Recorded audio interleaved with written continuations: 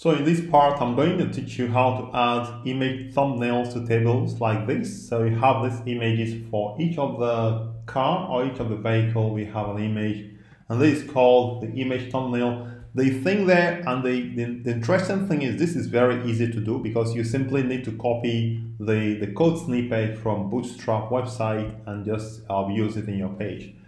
So currently we don't have image thumbnail. Uh, so let me go to the application we we are working the current application now. Let me go, I'm going to run it and then let's see what we have. So it takes very few steps to add image thumbnails. So if I go to the new application we are working with, you can see that we don't have no thumbnails, we don't have no pop-up here. So this is what we have. Now we are not going to be doing image upload in this very tutorial because I'm, I reserve it for a little later because there's a number of things involved. There's a synchronous upload and asynchronous upload. And this has to do with knowing some, having some knowledge about reactive programming implement, implementation in Spring Boot. And this is not something I want to cover now. I want us to cover everything we have in our list and then we go, out, we talk about uh, upload.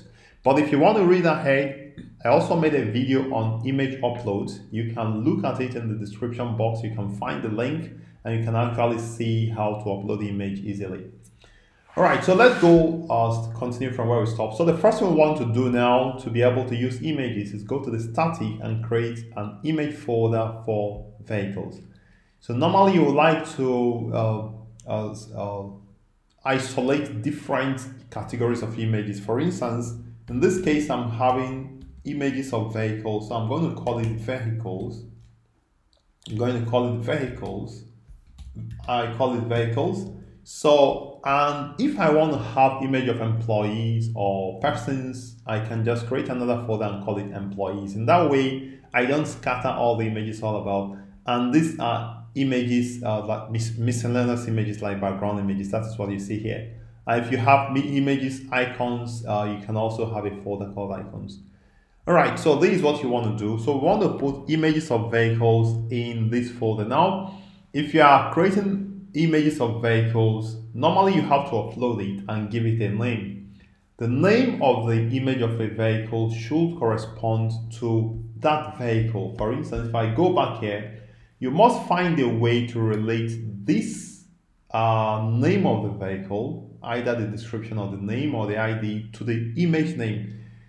So the easiest thing for me to do most of the time in simple applications is simply to name the images with the ID of the vehicle. Just like in case of employees, you are going to name the images with the username of the employee or the registration number of the employees because this is unique. But in this case, we don't have some um, image ID, we have ID here. So we, can, we have to name the images 1.jpg, 2.jpg, or 2.png. That's going to be fine. Um, later on, we are going to be talking about image processing a little later for more advanced applications. For now, let's try and finish what we have here. All right, so I've created a folder. I call this folder vehicles. So the next thing you want to do is to uh, put in some images there. For now, as I mentioned, I'm not going to be talking about image upload. So I have some images I will simply uh, place those images there. I call these the images 1, 2, 3, 4, 5, 6. So I'm going to simply place the images because I already have them. And the interesting thing about this is the image thumbnails and the image uh, pop-up, you don't have to resize them. It's the same image that we are going to resize using the code. All right, so let's now see now, if you click on this, you can see we have some images, uh, really nice images right here. Okay, that's fine. So let's go back to the table. So I'm going back to the table right now. Uh, let's see. So my table should be template. I'm going to fleet and it should be in vehicles. So this is my table here. So I'm going to add one more header here. Uh, it's going to be th but now I don't need anything. Maybe I can call it photo. I can just send the header to be photo. Um, and then I'm going to add one more header just before the ID. I'm going to say td uh, slash td. Okay. So this is where exactly we are going to put the image right inside this td and it's going to be a link. It's going to be an anchor tag just like this. Now, this image is going to be displaying the image coming from uh, this folder here, this img folder. And you already know that you can use href. So you can just say, here you can say href, but in this case we are using Thymeleaf. So it's going to be th href is equal to and specify the location of this image like this.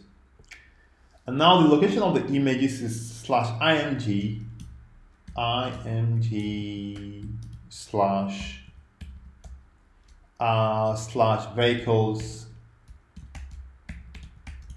Okay and slash okay? Now we have this slash img slash vehicle slash but we need the full part of the image to be able to display the image. Let me just correct this one.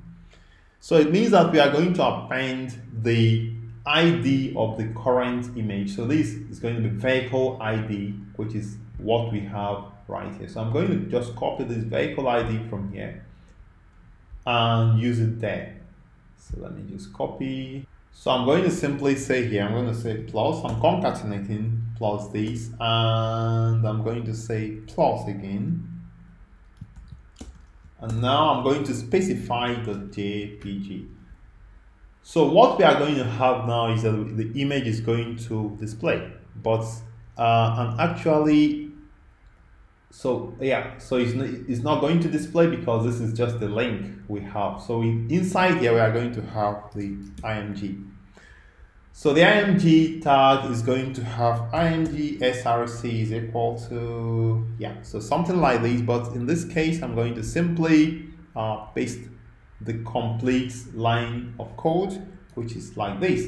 So in this case, we are displaying a thumbnail of width 40, height and 40. So this is what exactly we have here. So if I stop this application and rerun it now, it's going to display the image. So let's just uh, test it out to see what we have. So I'm going to stop and then rerun the application one more time.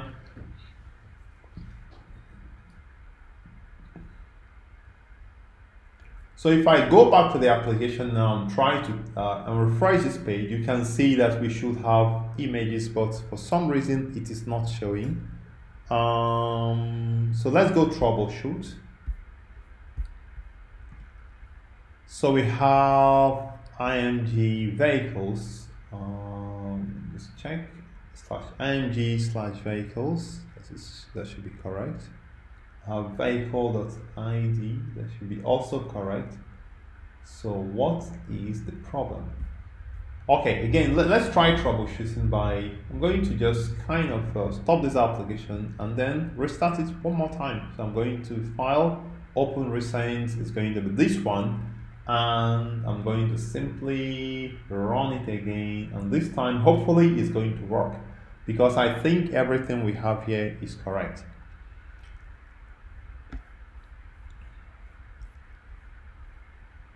All right, so let's go back to our application. Now I'm going to refresh. I'm going to hit refresh on my keyboard and now you can see that the image shows up. And when I click on the image, it actually links because we have the link to be linking to the image file, but you can see this does not make sense. What we want to have is a pop-up to display this image. So how do we do that? You can you can easily go to um, to Bootstrap and say Bootstrap and look for Bootstrap pop-up and you can find Bootstrap, actually Bootstrap modal, and you can see a whole lot of uh, modals you can use. So you can click it, it displays a modal. You can find one that is really good, like this one, but not this one. So for me, I'm not going to continue doing this. I have already found a good one. So what you do is you copy the modal. So this is a modal, and there is a button that launches it. You copy the modal, and the, but you don't need to copy the button all right, so for me, I already have copied the modal, so I'm simply going to uh, paste it. All right, so this is a modal. I wrap it inside a head slash head tag and I place it just before the table. Actually, this modal will not be visible. Now, inside the modal body, you can see I added an image tag that has SRC of nothing. So what's going to trigger or assign this SRC to this image will be the click of the button or the link. So this, this link here, the click of this link is going to launch the modal. So let's give this a tag or anchor tag a name and then we are going to write the code that is going to execute when you click on this anchor tag. I'm going to call it id is equal to, let me call it photo button and we have CHH chhref that is fine. So now we are going to write the JavaScript code that is going to execute when this is clicked. And that code is simply going to launch the modal, which is this modal, okay? So to include a script here, because we don't want to use a external file, we're going to use th block, th block to include uh, um, a script in a in a in the content page of an application that has a layout page. So I'm going to say layout fragment. Layout fragments is equal to script. So the reason we are doing this is because this is a content page and this content page uh, belongs to there's already existing layout. So this what we are adding is, is simply called a layout fragment. So inside this block of code that's going to be a script, we are going to now write our JavaScript code. And the JavaScript code, of course, you know is going to be scripts. Language is equal to JavaScript. And so inside here, we are now going to write the uh, the, the JavaScript code to load the image. So I'm going to copy and paste so that I don't waste uh, spend time writing it. So here I'm going to paste it. I'm going to kind of increase the font a little bit so I can explain it to you. So here is document already is the jQuery function that says you have to run the next function when the content of the page has already loaded. Okay. So inside uh, the table we have a photo button which is inside the table. So we have a photo button. Then when the photo button is clicked, we have a function that's going to execute. It's going to say event that prevent default. The default behavior is to link to another page, which happened before now. So there is a default behavior. For instance, let me just show you. So the default behavior of a link is when you click, it links to a different page. It's gonna, we are going to kind of prevent that default behavior by using this line of code that says event that prevent default. And then we are going to extract the href attribute of the link we clicked. Remember we assigned the href attribute of the photo button to the image, right? So we're going to extract that href attribute and assign it to the href attribute of the image inside the modal. So the assign it to the src attribute. So src attribute currently is empty, but it's going to be assigned when a button is clicked, is the button of uh, the image thumbnail button is clicked, is going to assign that extract the href, assign it to the assign it to as src attribute of the vehicle photo. So that was the vehicle photo. So the vehicle photo is what we have inside the modal. So which is we just go up, which is uh, which is this vehicle photo. Right, right. So take some time to get your head around it, and then after that, you display the modal. So this the line that actually displays the modal. So I think we are done here. So I'm going to stop this application and then refresh this, uh, relaunch this application, and let's see what we have. So if I go back to the page now, go back to the page and refresh, and I click on this, you can see it displays the pop-up perfectly well as we want it to display. So we've completed image pop-up uh, and then we are going to be moving on to something else. So the next thing, which is, an, which is an interesting topic, is about containerization using Kubernetes. But I think we are going to move this Dockerized uh, fleet emission to upward before Kubernetes because I think it's a prerequisite for you to learn a bit of Kubernetes. So I'm going to be stopping here. I'd like to thank you for viewing. Please remember to subscribe to my channel if you've not subscribed and also uh, leave me a comment if this has been informative for you. If you have challenges, leave me a comment as well. I'm going to respond to you. Else, somebody else in the um, following this tutorial could also respond to you to give you a solution to, to, to challenges you may face. I remain Kindson the Tech Pro and I'm always there for you.